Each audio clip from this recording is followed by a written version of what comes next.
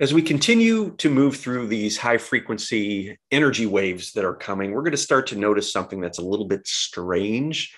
Now, a lot of you probably have already started to feel this. I'd love to hear from you. So leave a comment or a thumbs up if you have. We're moving into an energy that is, you can look at it from a timeline perspective, is very ancient. It's us, it's who we truly are, it's the real us. Now, when we move up into these frequency bands, we start to detach from the timeline. Our mind doesn't know what to make of this energy. It's very nebulous feeling. So when we try to assign some sort of meaning to it or programming to it, it doesn't feel good. It feels very uncomfortable. That is us remembering who we really are. Remember, we're energetic beings, multidimensional beings that reside in all dimensions, including those outside of the time space reality. And that's what we're starting to feel, we're starting to get back into that energy, taking a step into it. And of course, when the mind perceives that, it freaks out, doesn't like it, it can't label it, doesn't know what to do with it. So it throws up these thoughts of, hey, this isn't good, this is uncomfortable, right? So think about that when you get into these spaces of not feeling comfortable um, or not knowing where you're headed, not knowing where your life is headed. The First step in figuring all that out is to get anchored and grounded in the body. That gets your energy flowing, that expands your consciousness, that creates space. With that space will come guidance, will come intuition that will rise up. Okay, so we don't want to shut the gate just as we're about to step through it. We want to step through it and embrace that feeling of uncomfortableness, that feeling of not knowing, because we're in a space right now where trust is very, very important.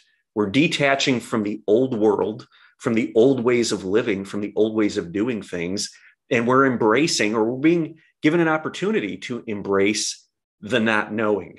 Okay. And the not knowing is from the perspective of the mind, because again, it doesn't know what to make of this awesome, amazing high frequency energy that is starting to move through us. So if we can embrace that process, we could step away from resistance, create more space within our body, right? And allow that energy to flow and that intuition and that guidance will start to make it up here. And ideas will come, energy will flow, motivation will come. So we have a habit of clamping that off. We want to run, fight or flight. When there's something that we're feeling that is um, labeled as bad or unfamiliar, right? That gets us out of our comfort zone. We don't like that. We like to be comfortable, and that limits us. The limitations are falling away.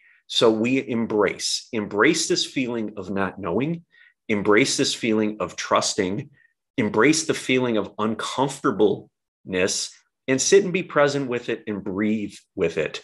It's coming us to be, it's coming up to be felt. So we want to fully feel it.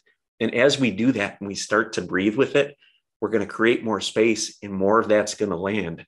And what comes along with that our multidimensional aspects, our higher self, our soul literally steps down and drops in, drop in soul, right? We've heard that term.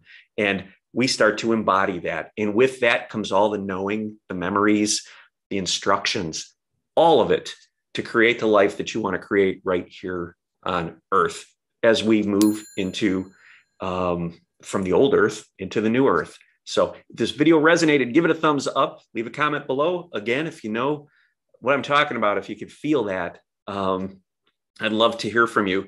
Share this with anyone that you think might need it. I would greatly appreciate it. Till next time, guys. Thank you.